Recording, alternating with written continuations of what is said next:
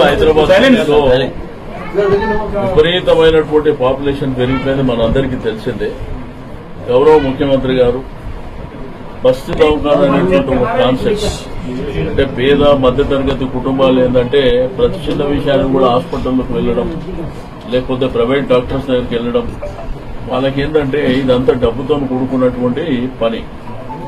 But ఈ యొక్క దవ ఈ యొక్క బస్తీ దవాఖాన ద్వారా అనేకమైనటువంటి సేవలు అందిస్తున్నటువంటి ఈ రోజు మా డాక్టర్స్ కావచ్చు ఇందులో పనిచేసేటువంటి సిబ్బంది కావచ్చు దీంట్లో మనిషికి ఉన్నటువంటి అనేకమైనటువంటి రోగాలకు ఇక్కడనే టెస్టులు చేయడం రెండోది ఏంటంటే చిన్న చిన్న అవసరాలను దృష్టిలో ఉంచుకొని వాళ్ళకు టాబ్లెట్స్ ఇవ్వడం అవసరం అనుకుంటే ఇంజెక్షన్స్ ఇవ్వడం.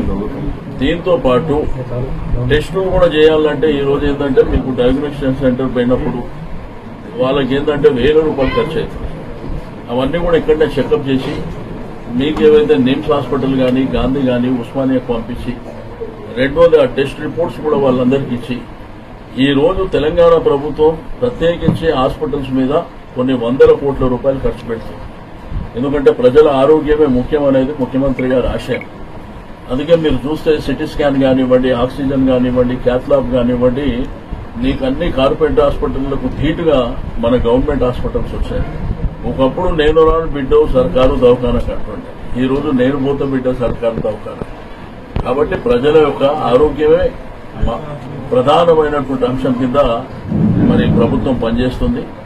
నేను మా యొక్క వైద్య ఆరోగ్య శాఖకు సంబంధించినటువంటి మా డిఎంహెచ్ఓకి సంబంధించినటువంటి మా డాక్టర్స్ కానివ్వండి సిబ్బంది కానివ్వండి వారందరికీ మనస్ఫూర్తిగా అభినందన ఈ రోజు మూడు వందల యాభై హాస్పిటల్స్ ఈ బస్తీ దవాఖానాలో మరి గ్రేటర్ హైదరాబాద్ పరిధిలో.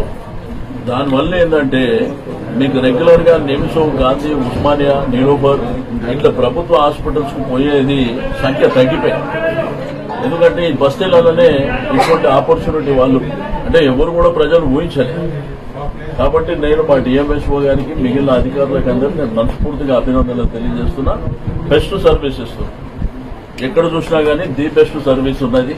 వచ్చిన పేషెంట్స్ ఎవరైనా గానీ వాళ్ళకి సహజంగా ఏముంటుందంటే తలనొప్పి కానీ కడుపు నొప్పి కాళ్ళ నొప్పి ముఖాల నొప్పులు అంటే రెగ్యులర్గా ఉండేటువంటి బట్ వాళ్ళకి ఏంటంటే ఇతరాతను పోయి మెడికల్ షాప్లకు పోయి లేకపోతే ఎవరో ప్రైవేట్ డాక్టర్ పోతే వెయ్యి రూపాయలు మినిమం. ఇక వెయ్యి రూపాయల నుంచి ఇరవై వేల వరకు అవుతుంది. ఇక్కడికి వస్తే ఫ్రీ. నీకు మెడిసిన్ అన్ని అవైలబుల్ ఉంటాయి దీంట్లో. కాబట్టి నేను మరి మన గౌరవ ముఖ్యమంత్రి గారు మూడు వందల యాభై హాస్పిటల్స్ ఇప్పటి వరకు బస్సు దవకానికి వచ్చాయి. ఇంకా వస్తాయి. కాబట్టి ఈ రోజు ఏంటంటే మళ్ళీ కొత్తగా పద్నాలుగు చేస్తాం. ఈ రోజు రెండు చేసినాం. ఇంకా పన్నెండు ఈ రెండు మూడు రోజులలో ఆ పన్నెండు కూడా కంప్లీట్ చేస్తాం.